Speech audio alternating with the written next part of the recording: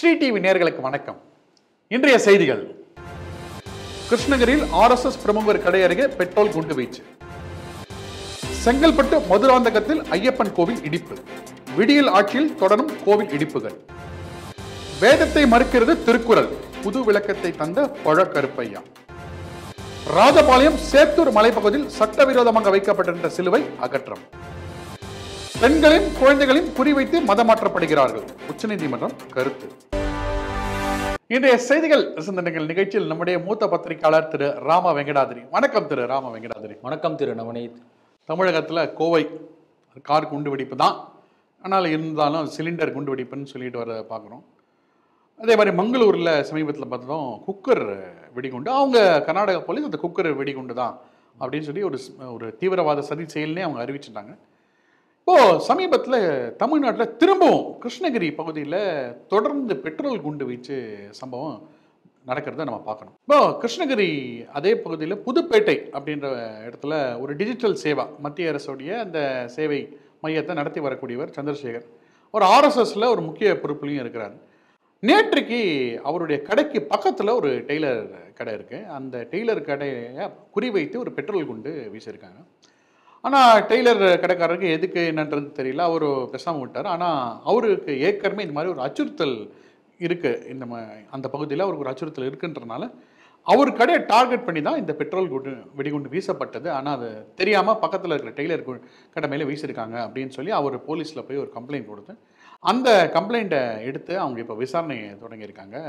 இது கிருஷ்ணகிரியில் இந்த வாரத்தில் மட்டும் இரண்டாவது சம்பவம் இந்த பெட்ரோல் குண்டு வீச்சுன்றது இந்த செய்தி நீங்கள் எப்படி பார்க்குறீங்க தமிழகத்திலே தொடர்ந்து ஹிந்து தலைவர்கள் மீது பாஜக ஆர்எஸ்எஸ் இந்து முன்னணி போன்ற அமைப்புகளில் இருக்கக்கூடிய தலைவர்கள் மீது கொலைவெறி தாக்குதல்கள் அச்சுறுத்தல்கள் மிரட்டல்கள் தொடர்ந்த வண்ணம் இருந்து கொண்டிருக்கின்றது. ஹிந்து இயக்கத்தில் இருக்கக்கூடிய தலைவர்களுக்கு பாதுகாப்பு இல்லை. அவர்களுடைய உயிருக்கோ உடைமைக்கோ உத்தரவாதம் இல்லை. குடும்பத்துக்கு பாதுகாப்பு இல்லை. இப்படிப்பட்ட சூழ்நிலையிலே தொடர்ந்து தமிழகம் போய்க் கொண்டிருக்கிறது. இந்த செய்தி காட்டக்கூடிய முதல் ஒரு கோணம். ஆகவே அந்த பாதுகாப்பு அவர்களுக்கு உயிருக்கான உடைமைகளுக்கான குடும்பத்திற்கான பாதுகாப்பை இந்த தமிழக அரசு உறுதி செய்ய வேண்டும். இது வன்மையாக கண்டிக்கப்படக்கூடிய ஒரு செயல். இரண்டாவது கிருஷ்ணகிரி பக்கத்தில் இருக்கக்கூடிய பர்கூர் போன்ற பகுதிகள் அதிகமான பங்களாதேஷ் ஊடுருவல்காரர்கள் இருக்கக்கூடிய ஒரு பகுதி இன்ஃபில்ட்ரேட்டர்ஸ் முறைப்படி யாரும் விசாலாக வாங்கி வரல. அங்கே உள்ள குவாரிகளிலே கிட்டத்தட்ட ஐம்பதாயிரம் பேருக்கு பக்கத்தில் வந்து வேலை செய்யக்கூடியவர்கள் எல்லாருமே வந்து இந்த பங்களாதேஷை சேர்ந்த முஸ்லீம்கள் என்று சொல்கிறார்கள். சரியான புள்ளிவரம் வந்து அரசாங்கத்திட்ட இருக்குமா நமக்கு தெரியாது. ஆனால் போய் ஒவ்வொரு குவாரி நீங்கள் பார்த்தீங்கன்னா பெரும்பாலான தொழிலாளர்கள் அவர்கள் தான். இவருடைய ஆதிக்கம் எந்த அளவுக்கு போய் போயிருக்குன்னு சொன்னால் அந்த அந்த பகுதியிலே தனித்தனியாக அவங்களுடைய குடியிருப்புகளிலே பங்களா மசூதிகள் பங்களா மொழி பேசக்கூடிய மசூதிகள் என்று தனியாக நிறுவி இருக்கிறார்கள் பல இடங்களில். சமீபத்தில் நென்கச்சு அந்த நென்கச்சினுடைய பெயர் நேதாஜி சுபாஷ் சந்திர போஸ் ரோடு என்று பெயர் அதே தர்கா ரோடு என்று மாற்றினார்கள். இவருடைய குடியிருப்பு இடத்துல அதிகமான உடனே அந்த சாலையில் பெயரை மாற்றினார்கள். இன்னும் சில இடங்களுக்கு முன்னால் சில வருடங்களுக்கு முன்னால் செய்தி சிந்தனைகளை பேசியிருக்கிறோம். மலை மேலே ஒரு குண்டு வெடிப்பு நடத்தப்பட்டது. அந்த குண்டு வெடிப்புக்கு காரணமானவர் இதே போல் பங்களாதேஷ் முஸ்லீம் என்று அடையாளம் காணப்பட்டது. ஆகவே இப்படி தேசத்துக்கு விரோதம் செய்யக்கூடிய ஊறு விளைக்கக்கூடிய வெளிநாட்டு பங்களாதேஷ் முஸ்லீம்களுடைய ஊடுருவல் அதிகமாக இருக்கின்றது என்பதை தடுத்து நிறுத்தி விழிப்புணர்வை ஏற்படுத்தக்கூடிய ஹிந்து அமைப்புகளுக்கு அச்சுறுத்தல் ஏற்படுத்தப்பட்டிருக்கிறதா என்ற கோணத்தை நம்ம பார்க்கணும். அப்போதான் இது வந்து சரியாக தெரியும். ஏதோ யாரோ ஒருத்தர் பெட்ரோல் உங்களுக்கு வீசினாரு யாரோ ஒருத்தர் என்று சொல்லி திசை திருப்பி யாரோ ஒருத்தர் சரண்டர் பண்ண வச்சு இப்படிலாம் செய்யாமல் இந்த கோணத்திலே விசாரணை முடிக்கப்பட வேண்டும். ஏன்னா பாருங்கள் இப்போ இந்த டெல்லி எலெக்ஷன் முனிசிபல் எலெக்ஷனில் வந்து ஒருத்தர் அனாலிசிஸ் பற்றி ஒருத்தர் சொன்னார். அவர் என்ன சொன்னார்னா கிட்டத்தட்ட ஐந்து லட்சம் பேர் வந்து பங்களாதேசி ரோஹிங்கியாஸ் வந்து டெல்லியில் இருக்காங்க என்று அரசு ஒப்புக்கொண்ட ஒரு தகவல். ஆனால் அதை போல் ரெண்டு பங்கு மூணு பங்கு இருக்கலாம். அப்போ அப்படி அரசு கணக்கில் வராதவங்கள்லாம் அங்கே இருக்காங்க. அவங்கள பல பேருக்கு ஓட்டுரிமை கூட இருக்கிறது ரேஷன் கார்டு இருக்கிறது. அவங்களுடைய ஓட்டிங்னால இல்லீகல் பங்களாதேஷ் இன்ஃபில்ட்ரேட்டர்ஸுடைய ஓட்டிங் பார்ட்டிசிபேஷனால ஒரு சின்ன டில்ட் ஏற்பட்டு இந்த எலெக்ஷனுடைய ரிசல்ட் மாற்றப்பட்டிருக்கலாம். இது வந்து ஒவ்வொரு தொகுதி வாரியாக நம்ம வந்து அதை கணக்கு பார்த்தோம்னா நம்ம கரெக்டாக தெரியும் என்று ஒருத்தர் சொன்னார். இன்னும் அதை தொகுதி வாரியான அனாலிசிஸ் கொடுக்கல. பட் இட்ஸ் எ ஒரு ஒரு பார்வை. அப்போ ஒரு தேர்தல் முடிவே மாற்றக்கூடிய அளவுக்கு இந்த ஊடுருவல் இந்த நாட்டிலே நடந்து கொண்டிருக்கிறது. ஒரு தெருவின் பெயரை மாற்றக்கூடிய அளவுக்கு ஊடுருவல் நடந்து கொண்டிருக்கிறது கிருஷ்ணகிரியில். நம்ம பார்த்தோம் ஒரு ஆயிரம் பேர் வந்து ஆயுதம் எடுத்துக்கொண்டு நாட்டுக்குள்ள ஊடுருவல் செய்தார்கள் பாகிஸ்தான்லேருந்து. அதை தடுத்து நிறுத்துவதற்காக கார்கில் யுத்தமே நடந்தது. ஆனால் இன்றைக்கு சில கோடி பேர்கள் இதே போல சட்டவிரோதமாக நாட்டுக்குள்ளே ஊடுருவி இருக்கிறார்கள் இதனால் எப்படிப்பட்ட ஆபத்து வரும்? யோசிச்சு பார்க்கணும். இவர்கள் எல்லாரும் வந்து இப்போ ஒரு பங்களாதேஷ் முஸ்லீம் வந்து நாட்டுக்குள்ளே வரானா அல்ல கிருஷ்ணகிரிக்கு வரான்னு வச்சுக்கலாமே. கிருஷ்ணகிரி பற்றி அவனுக்கு தெரிஞ்சிருக்க வேண்டிய அவசியம் இல்லை. திருப்பூரில் இருக்கான். திருப்பூர் பற்றி தெரிஞ்சுக்க வேண்டிய அந்த லேண்டு அந்த ஊர் அந்த மொழி எதுவுமே தெரிய வேண்டிய அவசியம் இல்லை. அவன் பங்களாதேஷ் பார்டரை கிராஸ் பண்ண உடனேயே ஒரு மசூதியை போய் அணுகி நான் ஒரு பங்களாதேஷ் முஸ்லீம் தான் ஒரு முஸ்லீம் என்பதை சொன்னால் மட்டுமே போதுமானது. மற்ற எல்லாமே அங்கே ஏற்பாடு செய்யப்படும். அப்போ இட்ஸ் ஒரு வெல் பிளான்டு ஜிகாதி நெட்வொர்க் நம்ம நாட்டுக்கு வந்து அவனுடைய டேலண்ட்டு ஸ்கில்ஸை கான்ட்ரிபியூட் பண்ணுவதற்காகவோ நம்ம நாட்டு பொருளாதாரத்தை மேம்படுத்துவதற்காகவோ இதுக்கெல்லாம் அவங்க யாரும் வரல. குழப்ப தேடி வரான் அப்படின்னு சொல்கிறாங்க அது ஒரு பக்கம் இருந்தாலும் கூட இவர்கள் எல்லாருமே வந்து ஒரு நெட்ஒர்க்குன்னு ஒரு ஜிகாதி வலைப்பின்னலுக்குள்ளார இருக்காங்க. அதை நம்ம தெளிவாக புரிஞ்சுக்கணும். என்றைக்கா ஒரு நாள் இவங்கெல்லாம் தெருவில் இறங்கினாங்கன்னா என்ன ஆகும்? அதை எதிர்கொள்ளக்கூடிய அளவுக்கு இந்து சமுதாயம் தயாராக இருக்கிறதா? இதெல்லாம் வந்து நமக்கு முன்னால் உள்ள கேள்விகள். நடக்குமா நடக்காதா என்பது அடுத்த பிரச்சனை. ஆகவே இந்த கோணத்திலும் இந்த விசாரணை முடுக்கிவிடப்பட வேண்டும். மூன்றாவது நீங்கள் சொன்ன கருத்துக்கு வரேன். தமிழக அரசு உண்மையிலே ஒரு பயங்கரவாத செயல் நடந்தால் அது ஒரு கேஸ் சிலிண்டர் வெடிப்பு என்று சொல்லி அதை வந்து ஒரு சாஃப்ட் அப்ரோச் மென்மையான போக்கோடு அதை அப்படியே அது இப்படியாவது ஃபைலை இழுத்து மூடலாமா? என்று பார்க்கிறது. இப்படிப்பட்ட தமிழக அரசின் அணுகுமுறை கூட பயங்கரவாத செயலில் ஈடுபடக்கூடியவர்களுக்கு ஒரு தெம்பை கொடுத்துவிடும். ஆகவே தமிழக அரசு இப்படிப்பட்ட செயல்களை இரும்பு கரம் கொண்டு அடக்க வேண்டும். இதில் பின்னணியிலே இதே போன்ற பங்களாதேஷ் ஊடுருவல்காரர்களுடைய கை இருக்கின்றதா என்பதை பார்க்க வேண்டும். மத்திய அரசும் இதை வேடிக்கை பார்க்காமல் இதுக்கு தேவையான ஒத்துழைப்பை கொடுத்து பயங்கரவாதம் தமிழகத்திலே மேலும் தலை தூக்காதவாறு பாட் பார்த்து கொள்ள வேண்டிய ஒரு பொறுப்பு வந்திருக்கிறது. ஏற்கனவே அறநிலையத்துறை அவங்களோட அலட்சியத்தினால சதுரங்கப்பட்டினத்தில் இருந்த ஒரு கோயில் மண்டபத்தில் ஒரு இஸ்லாமியர் வழிபாட்டு தலமாக மாற்றின செய்திகள் சிந்தனைகள் கூட நம்ம பேசினோம்.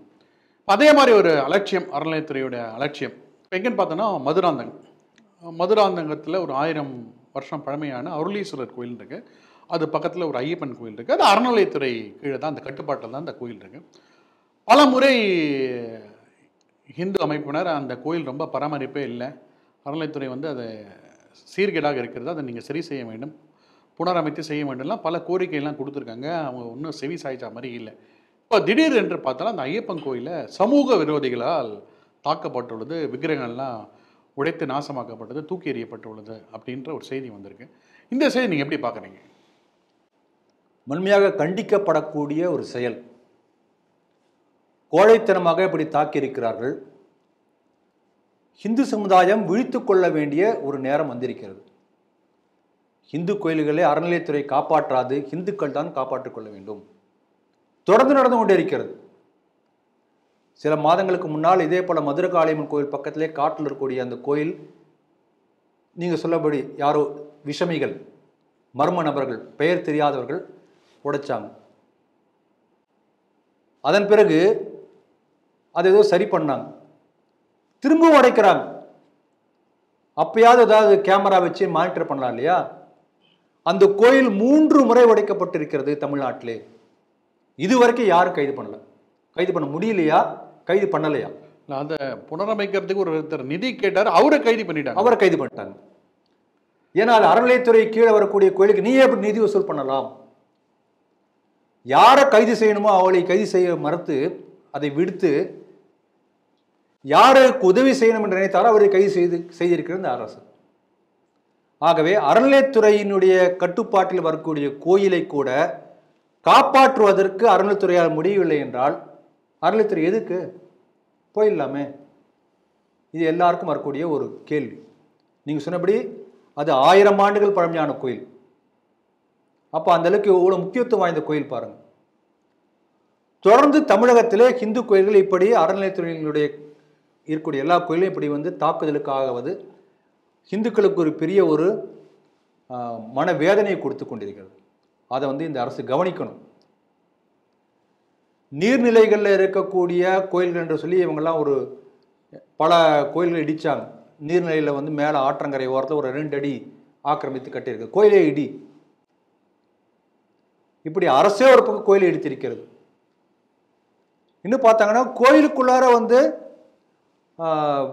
ஒரு கிறிஸ்துவர் வந்து கிறிஸ்துவ முறைப்படி கபாலீஸ்வர் கோயிலில் திருமணம் பண்ணுறார் பத்திரிக்கை அச்சடித்து வெளியிடுறார்.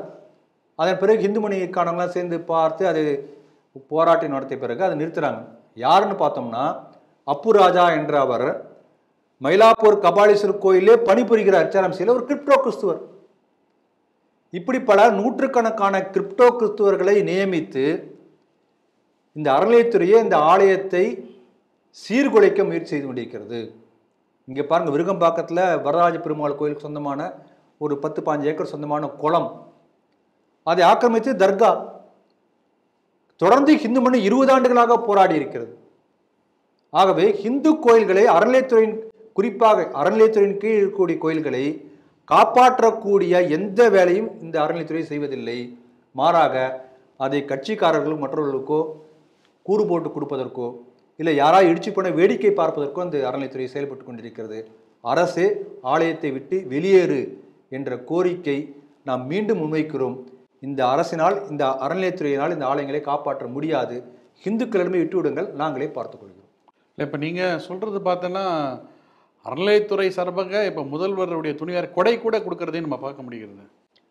கொடை கொடுத்தார். அந்த கொடையை வந்து துர்கா ஸ்டாலினுக்கு பிடித்து கொண்டு போனார்கள். அந்த ஃபோட்டோ நீங்கள் பார்த்துருப்பீங்க. கடவுளுக்கு கொடு- அதாவது பிடிக்க வேண்டிய கொடையை துர்கா ஸ்டாலினுக்கு பிடித்து கொண்டு போகிறார்கள்.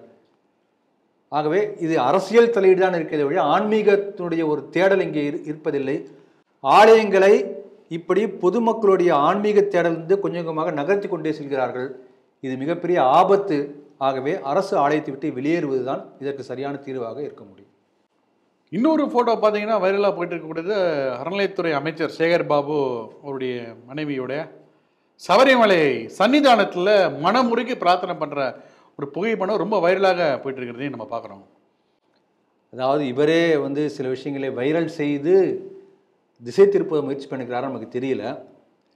எப்படியோ மனமுருகி பிரார்த்தனை செய்வதாக இருக்கட்டும் அந்த ஐயப்பன் அவருக்கு நல்ல ஒரு எண்ணத்தை கொடுத்து இந்து கோயில்களை காப்பாற்றக்கூடிய ஒரு நல்ல தன்மையை அவர் கொடுப்பார் என்று ஐயப்பன் நம்ம வேண்டிக் கொள்கிறோம். ஆளுநர் ரவி அவர்கள் திருக்குறளை பற்றி பேசும்போது அவர் என்ன சொல்வார் அது ஒரு ரிக்வேதத்துக்கு இணையானது அப்படின்ற மாதிரி ஒரு கருத்தை வைக்கிறாரு. இதற்கு ஒரு மாற்று கருத்தாக பழக்கருப்பையாக பேசியிருக்காரு. இப்போ அந்த வீடியோ ரொம்ப வைரலாக வந்துட்டு இருக்கு அதில் என்ன சொல்கிறேன்னா இந்த ஒரு கருத்து அதாவது திருக்குறள் என்பது ரிக்வேதத்தை ஒப்பிட்டு பேசின கருத்து இது ஒரு சாதாரண மனுஷன் சொல்லியிருந்தேன்னா அவனை செருப்பால் அடிச்சிருப்பேன் அப்படின்னு சொல்லி சொல்கிறாரு இது ஆளுநர் சொன்னதுனால அப்படின்றது ஒரு கேள்விக்குறியோட விடுறாரு.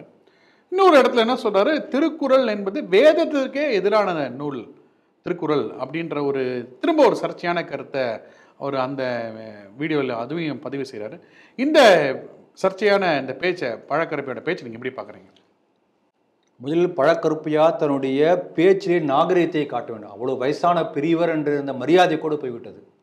அவன் இவன் என்று ஏகவசனத்தில் பேசுகிறார். இவருடைய கருத்துக்கு மாற்று கருத்து ஒருத்தர் சொன்னால் அதுக்கு மரியாதையோடு இன்னொரு கருத்தை நீ சொல்லிட்டு போகலாம். அதற்கு ஆவேசப்பட்டு சொல்லக்கூடாது. இது முதல்ல. ரெண்டாவது அவர் சொல்லக்கூடிய குரல் ஒரே ஒரு குரலை சொல்லி இந்த குரலின் பொருள் இது. அதனாலே திருக்குறள் வந்து வேதங்களுக்கு எதிரானது.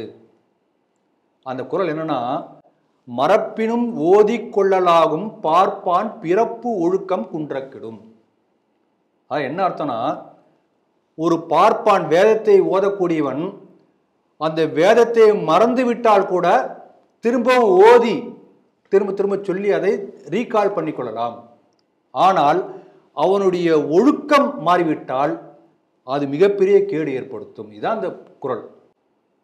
இப்போ ஒரு பழமொழி இருக்குது தாயை பிழைத்தாலும் தண்ணீரை பிழைக்காதே என்று ஒரு பழமொழி பழித்தாலும் என்று நாம் சொல்கிறோம். அப்ப என்ன அர்த்தம்னா தாயை உயர்வுபடுத்தி பிறகு தாயை விட ஒரு பகுதி மேலாக தண்ணீரை சொல்கிறோம். அப்படிதான் அர்த்தம். இங்கே வேதத்தை உயர்வாக சொல்லிவிட்டு நீ வேதத்தை ஓதுவதை விட ஒரு படி மேலானது ஒழுக்கம் என்று சொன்னால் வேதம் எப்படி குறைவானதாகும்? கம்பேரிசன்ல ஒரு இன்ச்சு மேலப்பா அப்படின்னு என்ன அர்த்தம்? போத் ஆர் ஈக்குவல் பட் இது slightly it is more important ஆகவே ஒரு பொருளை கூட உண்ணாவர் சரியாக புரிஞ்சிக்காம சொல்லியிருக்கணும். அல்லது வேண்டுமென்றே தவறான பொருளை கொடுத்து மக்களை குழப்பிக் கொண்டிருக்கிறார். ஆனால் ரெண்டாவதாக நான் பார்க்குறேன். ஏன்னா ஒரு பெரிய தமிழஞ்சர் நல்லா தமிழ் பேசக்கூடியவர். தனக்கு உண்மை தெரிஞ்சிருந்தும் தவறாக வழிகா வழிநடத்துவது மிகப்பெரிய பாவம். ஏமாற்றுத்தனம் அது. மக்களை ஏமாற்றிக் கொண்டிருக்கிறார். இந்த ஏமாற்றுதல் என்பது இப்போ இவ பழக்கருப்பையா? இப்போதான். நீங்கள் சொன்னபடி ஜியு போப் கால்டுவெல் காலத்திலே ஆரம்பித்து விட்டது. தொடர்ந்து இந்த மக்களுடைய மனதிலிருந்து இந்த கலாச்சாரத்துடைய வேர்களை பிடுங்குவது. அந்த மெக்காலே எஜுகேஷன் வரும்போது அவர் அந்த அதனுடைய அவர் சொல்லியிருக்கார் இல்லையா மெக்காலே எஜுகேஷன் பற்றி சொல்லியிருக்கூடிய அந்த இதை பற்றி ஸ்ரீ டிவி ஆண்டு விழாவில் நம்ம ஸ்ரீனிவாசன் அழகாக சொன்னார். English is not introduce as a language it's introduce as a package in India. அதை அவர் தெளிவாக குறிப்பிடுறார். ஆங்கிலம் கிராமர் ரெண்டன் மார்ட்டின் கிராமர் ஒரு கையில கொடுத்தா கொடுத்து விட்டால் அதை படிக்க ஆரம்பிக்கக்கூடியவனுடைய மனநிலை என்ன ஆகும்னா நம்ம நாட்டினுடைய மற்ற புராணங்கள் இதிகாசங்கள் வேதம் எல்லாமே மட்டம் என்று நினைக்கக்கூடிய அளவுக்கு மனநிலை மாறிவிடும். அதாவது deindianisation starts from learning English அங்குதான் ஆரம்பிக்கிறது. ஆகவே ஜியு போப்பா இருக்கலாம் மெக்காலாவே இருக்கலாம் அல்லது கால்டுவெல்லா இருக்கலாம் இவங்கெல்லாம் செய்த காரியத்தினுடைய தொடர்ச்சியை அவர்கள் போன பிறகு பழக்கருப்பையா போன்றவர்கள் செய்து கொண்டிருக்கிறார்கள். நீங்க முக்கியமான ஒரு விட்டீங்க தெய்வநாயகமே விட்டீங்க நீங்க. ஆ, எல்லாமே தான் ஒரு பெரிய லிஸ்ட் வருது. இந்த தீராவிட சிந்தனை உள்ளவங்க எல்லாமே அதான் செய்து கொண்டிருக்கிறார்கள். பாருங்க ஆராசா. ஆராசா சொல்கிறார் பிறப்புக்கும் எல்லா உயிர்க்கும் வள்ளுவர் சொல்லியிருக்கிறார். ஆனால் பகவத்கீதையில நாலு வர்ணத்தை பற்றி சொல்கிறது. பகவத்கீதையில சொன்ன அந்த சாத்துர்வண்ணம் மயா சிஷ்டான் என்று வரக்கூடிய அந்த ஸ்லோகமும் பிறப்போக்கும் எல்லாருக்கும் என்ற வள்ளுவருக்குள் ரெண்டு ஒன்று தான் அடுத்த வரியை சொல்லாமல் ஏமாத்திருக்காரு இல்லையா? என்ன சொல்லியிருக்காரு அடுத்த வரியில? சிறப்பு ஒவ்வா செய் தொழில் வேற்றுமையான்.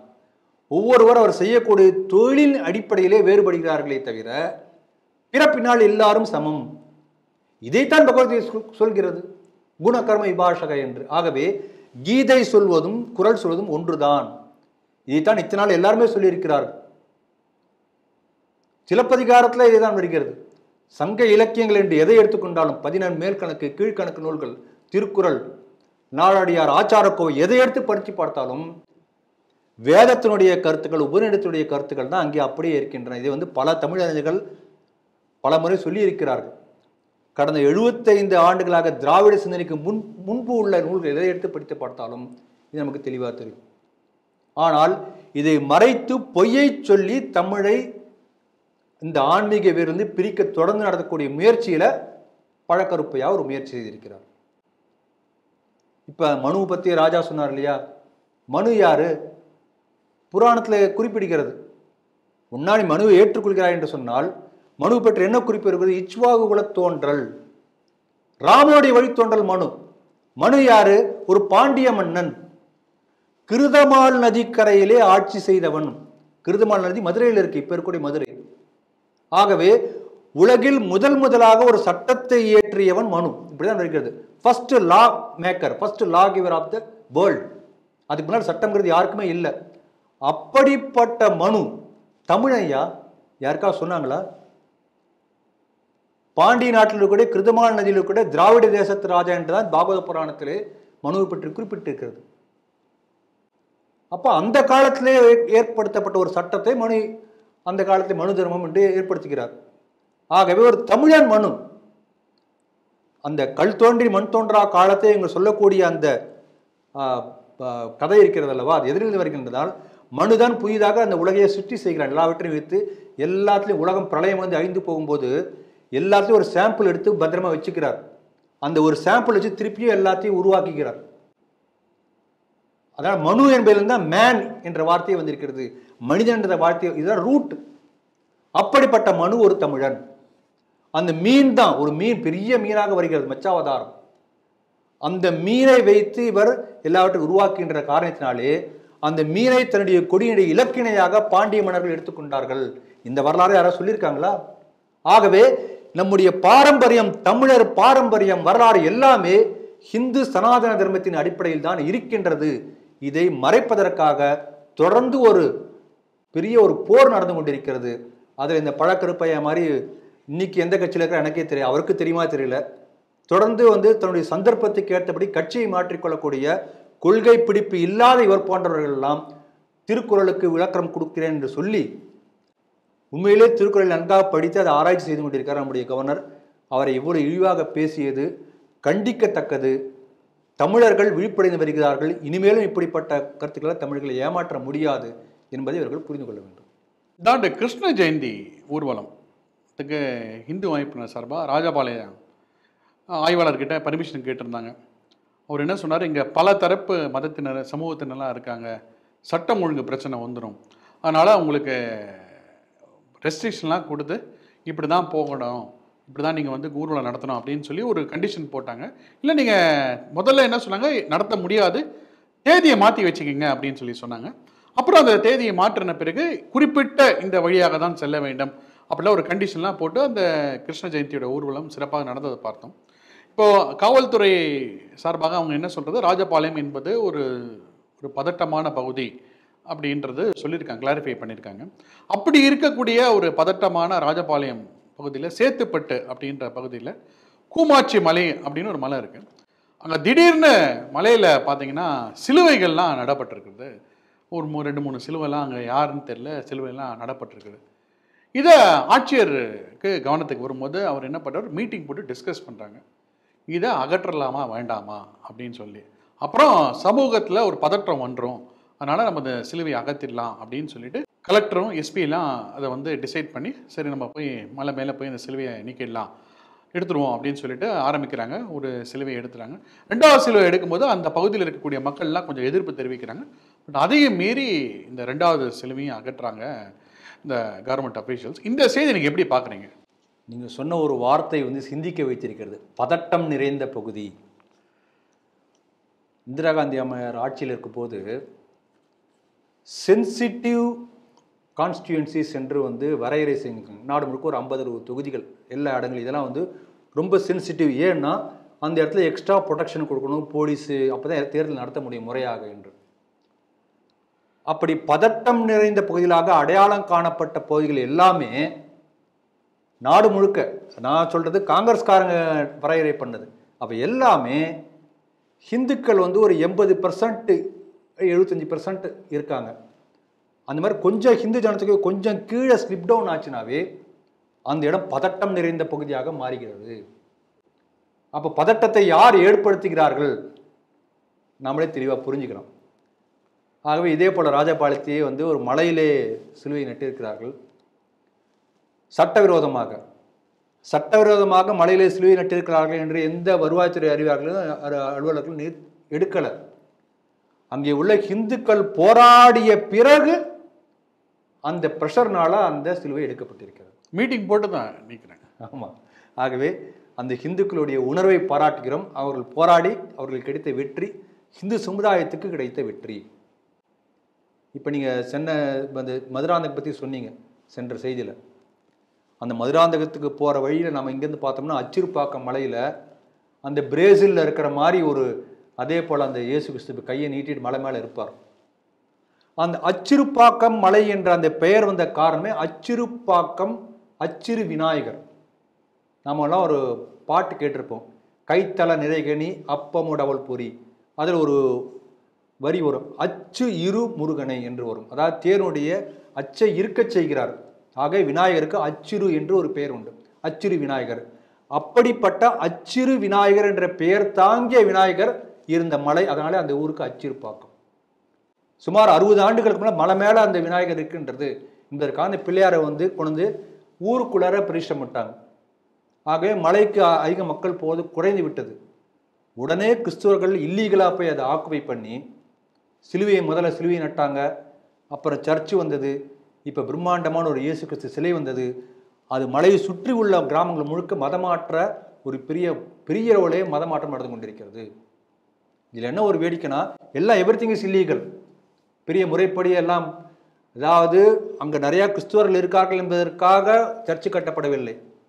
மலை ஆக்கிரமிக்கப்பட்டு சர்ச்சு கட்டப்பட்டு அதன் பிறகு மதமாற்றம் நடந்திருக்கிறது. ஆர்டிஐயில் ஒருத்தர் போட்டு கேட்டார். இது கவர்மெண்ட் புறம்போக்கு நன்மை என்று தான் இதுவரைக்கும் ரெக்கார்டில் இருக்குது அப்போ இல்லீகலி கன்ஸ்ட்ரக்டடாக பண்ண மெயின் ரோடில் போகும்போது நீங்கள் பார்க்கலாம் பிரம்மாண்டமான அந்த சர்ச்சு இயேசு கிறிஸ்து சிலைக்கு வருஷத்துக்கு ஒரு திருவிழா நடக்குது. அதுக்கு டிஎன்எஸ்டிசி சார்பாக சிறப்பு பேருந்து விடப்படுகிறது. ஆகவே the government is supporting the illegal occupation of the church இதான் நடந்திருக்கு தமிழ்நாட்டில். ஆனால் நீங்கள் சொன்னபடி இங்கே ராஜபாளையத்தில் இப்படிப்பட்ட ஒரு சூழ்நிலை ஏற்படுத்தாமல் ஆரம்பத்திலேயே முளையிலே கிள்ளி எறியது என்று சொல்கிறார்கள் இல்லையா? அப்படி வேரோடு பிடுங்கி எறிஞ்சிருக்கிறார்கள். அவர்களுக்கு பாராட்டுக்கள். இது போல் நீங்கள் தமிழ்நாடு முழுக்க பார்க்கலாம். பல மலைகள் ஏதோ ஒரு சின்ன பாறை இருந்தால் அந்த பாறையில் ஒரு பெயிண்ட்லேயாவது ஒரு சிலுவை வரைஞ்சிருப்பாங்க. அந்த அளவுக்கு உனக்கு ஒரு விரி கொஞ்ச நாளுக்கு சேர்ந்து பெயிண்ட் வந்து ஒரு சின்ன ஒரு கான்கிரீட் ஸ்ட்ரக்சராக ஒன்று வரும். அது பிறகு ஒரு சின்ன குருசடி மாதிரி வரும். அப்படியே டெவலப் ஆகி டெவலப் ஆகி இங்கே செயின்ட் தாமஸ் சர்ச் மாதிரி அங்கே ஏதாவது ஒரு இன்னொரு செயின்ட் தாமஸ் யாரோ ஒரு தாமஸ் கீமஸ் யாரோ ஒருத்தர் வந்துடுவார் அவர் நல்லடக்கம் செஞ்ச ஊர்னு ஒரு ஹிஸ்ட்ரி புதுசாக ஒன்று கிரியேட் பண்ணுவான். இப்படி தான் நடந்து கொண்டு இருக்கிறது. ஆகவே இந்த மாதிரி மலை மீது பார்க்கக்கூடிய எல்லா சர்ச்சுமே இல்லீகல் தான். ஏன்னா குன்றுதோறும் இருக்கக்கூடிய ஒரு முருகன் தான் நம்ம ஊரை பொறுத்த வரைக்கும். அந்த குன்றுல எங்கேயாவது சர்ச் இருந்ததுன்னா it's a illegally occupied place ஆகவே இது அத்தனையுமே மீட்கப்பட வேண்டியது. இது முதல்ல நம்ம புரிஞ்சுக்கணும். பாருங்கள் கன்னியாகுமரியில் விவேகானந்தர் உட்காந்து தவம் செய்கிறார். முக்கடல் சங்கமிக்கூடிய இடத்துல பாறையில் உட்காந்து அந்த தவம் செய்யும் போது மூன்று நாள் அன்ன ஆகாரம் இல்லாமல் தவம் செய்யும்போது தான் அவருக்கு ஒரு பெரிய விழிப்புணர்வு வருகிறது.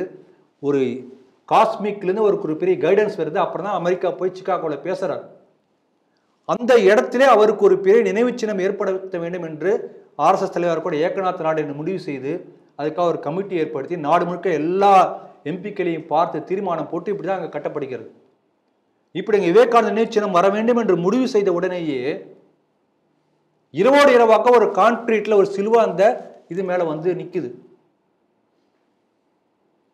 இவன் இரவோடு இரவு பண்ணான் இல்லையா? அதே போல இரவோடு இரவாக மறுநாள் அந்த சிலுவை காணாமல் போய்விட்டது. முள்ளுக்கு முள் முள்ளால் தான் எடுக்கணும். அவங்க பாலன் என்கிற ஒரு ஒரு மீனவர் அவர் அந்த குடும்பத்தை சேர்ந்தவங்களாம் சேர்ந்து உயிரை கொடுத்து அங்கேயே அந்த பாறையிலே தங்கியிருந்து அந்த அந்த க- கேந்திரா கட்டுவதற்காக ஆரம்பிக்கும் போது தீ வைத்து கொளுத்துக்கிறார்கள் எல்லாம் உயிரோடு அங்கே பிழைக்கிறாங்க எல்லாருமே. இந்த பக்கம் டென்ட் போட்டிருப்பாங்க. அந்த அளவுக்கு கடும் எதிர்ப்பையும் மீறி அங்கே ஒரு சர்ச் வர வேண்டும் என்று முயற்சி செய்தாலும் கூட அதை மீறி விவேகானந்தா கேந்திரம் இன்று அங்கே இருக்கிறது. பக்கத்தில் இப்போ திருவள்ளுவருக்கு சிலை வச்சிருக்கார் கலைஞர் அவர்கள் கருணாநிதி அவர்கள். ரெண்டையுமே பார்க்க முடியும். ஆகவே அது மீட்கப்பட்டது ஹிந்துக்களுடைய ஒற்றுமையினால எழுச்சியினால. அதே போல இதே போல ராஜபாளத்தில் நடந்திருக்கிறது. மலை மீது இருக்கக்கூடிய எல்லா சிலுவைகளும் இதே போல ஹிந்துக்களுடைய எழுச்சியால் மீட்கப்பட வேண்டும் என்ற ஒரு உணர்வை இந்த செய்தி எல்லா ஹிந்துக்களுக்கும் கொண்டு போய் செல்ல வேண்டும் என்று நாம் எதிர்பார்க்கிறோம். கட்டாய மதமாற்றம். அதுக்கு எதிராக குரல் கொடுத்து அதை உச்சநீதிமன்றத்தில் ஒரு கேஸ் போட்டு நடத்தி கொண்டு வருவர் பாஜகவுடைய அஸ்வினி உபாத்யா இந்த கேஸ் போயிட்டு இன்னும் மத்திய அரசு சார்பாக மேலும் அவகாசம் கேட்டு அந்த டீட்டெயில்ஸ்லாம் ஸ்டேட் கவர்மெண்ட் கிட்ட கேட்டு தரேன்னு சொல்லி சொல்லியிருக்காங்க அதை பார்த்துருக்கோம். இப்போ அந்த கேஸ் சம்மந்தமாக இன்னொரு ஹியரிங் வரும்போது உச்சநீதிமன்ற நீதிபதிகள் அந்த கேஸை விசாரிக்கக்கூடிய நீதிபதிகள் என்ன சொல்கிறாங்க இந்த மதம் மாற்றம் கட்டாய மத மாற்றத்தில் வந்து பெண்களும் குழந்தைகளும் தான் வந்து இது இலக்காக இருக்காங்க. அவங்க தான் இதோட டார்கெட்டாக இருக்காங்க. இந்த கட்டாய மத மாற்றத்துக்கு அப்படின்னு சொல்லி ஒரு கடுமையான கருத்தை வைக்கிறாங்க. ஏற்கனவே என்ன சொல்லியிருக்காங்க? இந்த கட்டாய மத மாற்றம்ன்றது ஒரு தீவிரமான பிரச்சனை. இதை நீங்கள் எப்படி இதை கட்டுப்படுத்த போகிறீங்கன்றது ஒரு கேள்வியும் வைத்திருக்காங்க. இந்த நடந்த இயரிங்கில் இன்னும் ஒரு ரெண்டு மூணு பாயிண்ட் அஸ்வினி உபாத்யாய சொல்கிறாரு என்னென்னா இந்த மாதிரி வெளிநாட்டிலேருந்து பினாமிகளாக பணம் வாங்கி இந்த கட்டாய மத மாற்றத்தை நடத்துகிறாங்க அந்த மாதிரி நடத்தக்கூடிய இந்த பினாமி சொத்துக்களை கைப்பற்ற வேண்டும். மத்திய மாநில அரசு இதை கைப்பற்ற வேண்டும் அப்படின்ற ஒரு கோரிக்கையும் அவர் வைக்கிறாரு. இன்னொரு இடத்துல என்ன சொல் இன்னொரு இடத்துல சுப்ரீம் கோர்ட்டே என்ன சொன்னாங்க?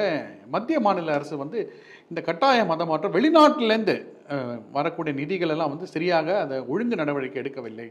அதனால தான் இந்த கட்டாய மத மாற்றம்ன்றது வந்து தீவிரமாக நடக்கிறது. அல்ல இலக்குகள் அப்படின்னு சொல்லி பார்க்கும்போது வந்து பெண்களும் குழந்தைகள் தான் அப்படின்ற ஒரு கருத்தை உச்சநீதிமன்ற நீதிபதிகள் சொல்லியிருக்காங்க. இந்த செய்தி நீங்கள் எப்படி பார்க்குறீங்க? உச்சநீதிமன்றம் சொன்ன கவனத்துக்கு கொண்டு வந்திருக்கிறது மிக ஒரு நல்ல விழிப்புணர்வை நாடு முழுக்க ஏற்படுத்தும் என்று ஒரு நம்பிக்கை வந்திருக்கிறது.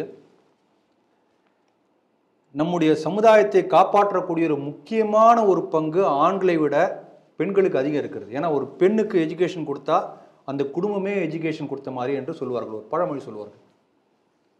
அப்போ ஒரு பெண் மனதிலே ஒரு எண்ணத்தை ஏற்படுத்தினால் அது நல்ல எண்ணமோ கெட்ட எண்ணமோ பாதிப்படக்கூடிய எண்ணமோ அந்த எண்ணம் அப்படியே குழந்தைகளுக்கு அடுத்த தலைமுறைக்கு அடுத்த எல்லாருக்கும் போய் சேரும்.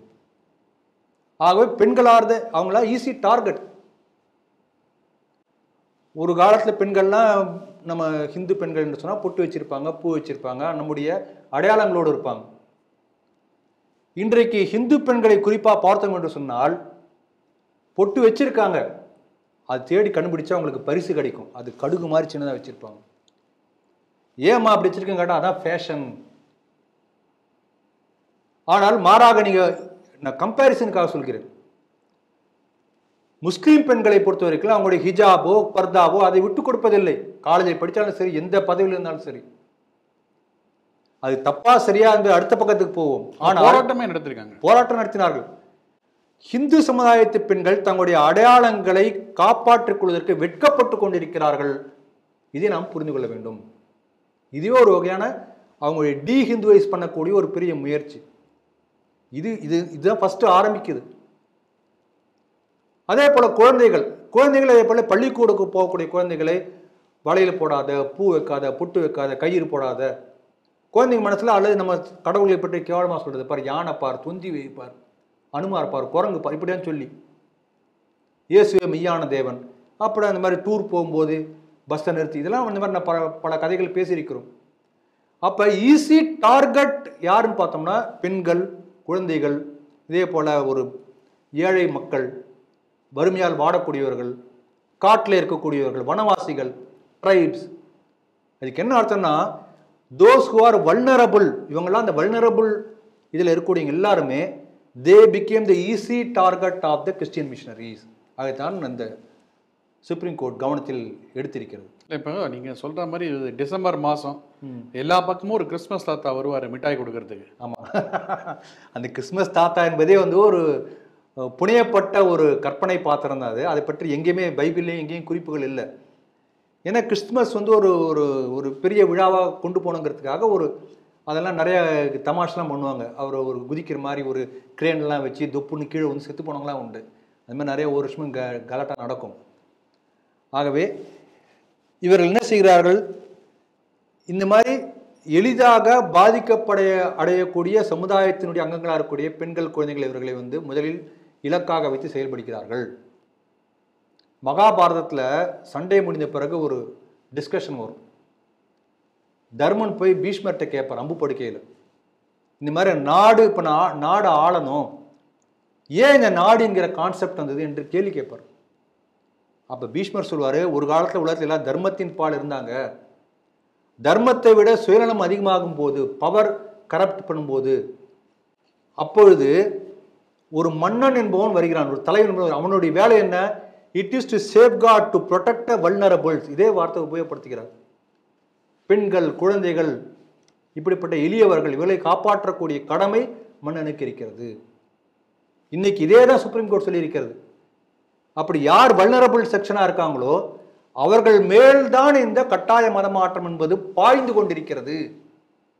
அப்போ it's responsibility of the government பீஷ்மர் சொல்கிறார் ஆகவே இந்த பெண்கள் நல அமைப்பு அதே போல் குழந்தைகள் நல அமைப்பு இப்படி இருக்கக்கூடிய மத்திய அரசுடைய மற்ற நிறுவனங்கள் எல்லாமே இதை கவனித்து கட்டாய மதமாற்றத்தை அந்த இடங்களில் நடைபெறாத வண்ணம் அவர்கள் they should enact some strict procedures or guidelines அது செய்யணும் முதல்ல. ரெண்டாவது இப்படிப்பட்ட வல்னரபிள் செக்ஷன்ஸ் என்று சொல்கிறோம் இல்லையா? எளிதில் வந்து தாக்குதலுக்கு ஆகக்கூடிய எளியவர்கள் குழந்தைகள் பெண்கள் ஏழைகள். இவர்கள் மத்தியிலே சேவை என்ற பெயரிலே மதமாற்றம் செய்கிறார். அதையும் சொல்லியிருக்காங்க. ஆகவே இவர்கள் மத்தியில் வந்து இந்த மாதிரி கிறிஸ்டின் மிஷினரிஸ் போய் சேவை என்ற பெயரிலே உள்ளே போகிறதுக்கு இன்னும் சம் அந்த ஆம்பிட்குள்ளே வரக்கூடாது கிறிஸ்டியன் மிஷினரிஸ். அப்படிப்பட்ட some legal enactment government should make அப்போ தான் தடுக்க முடியும். வெறும் வந்து சுப்ரீம் கோர்ட் ஒரு அப்சர்வேஷன் சொல்லிட்டு உடனே அரசாங்கம் ஆமாம் ஆமாம் அப்படி கேட்டால் ஒன்று நடக்க போகிறது இல்லை இதுக்காக ஏற்பாடு செய்யணும். இது ஒன்று. இன்னொன்று பக்கம் பார்த்தீங்க என்றால் இந்த மைனாரிட்டி என்று சொல்லிக்கொண்டு அவர்களுக்காக சிறப்பு சலுகை கொடுப்பது அறவே நீக்கப்பட வேண்டும்.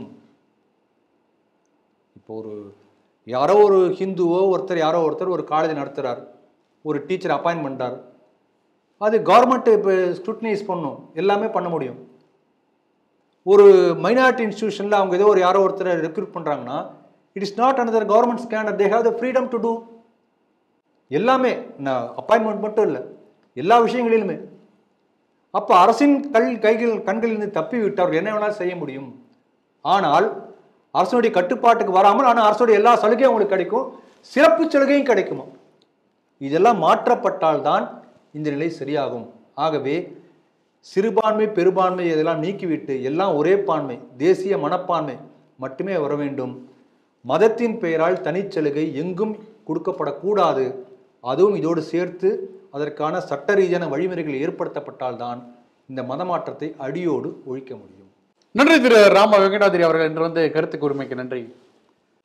செய்திகள் சிந்தனைகள் நிகழ்ச்சி ஸ்டேட் டிவியுடைய அஃபிஷியல் ஃபேஸ்புக் பக்கத்திலும் யூடியூப் பக்கத்திலும் இன்ஸ்டாகிராம் பக்கத்திலும் ட்விட்டர் பக்கத்திலும் மறக்காமல் லைக் பண்ணுங்க கமெண்ட் பண்ணுங்க ஷேர் பண்ணுங்க. இப்போ நம்ம பேசின இந்த ஐந்து செய்திகளும் தனித்தனி செய்திகளாக ஸ்ரீ டிவியுடைய அஃபீஷியல் ஃபேஸ்புக் பக்கத்துலேயும் போஸ்ட் செய்யப்படும். அதையும் மறக்காமல் லைக் பண்ணுங்கள் கமெண்ட் பண்ணுங்கள் ஷேர் பண்ணுங்கள் செய்திகள் சந்தனைகள் நிகழ்ச்சியில் மீண்டும் சந்திப்போம். நன்றி வணக்கம் ஜெய்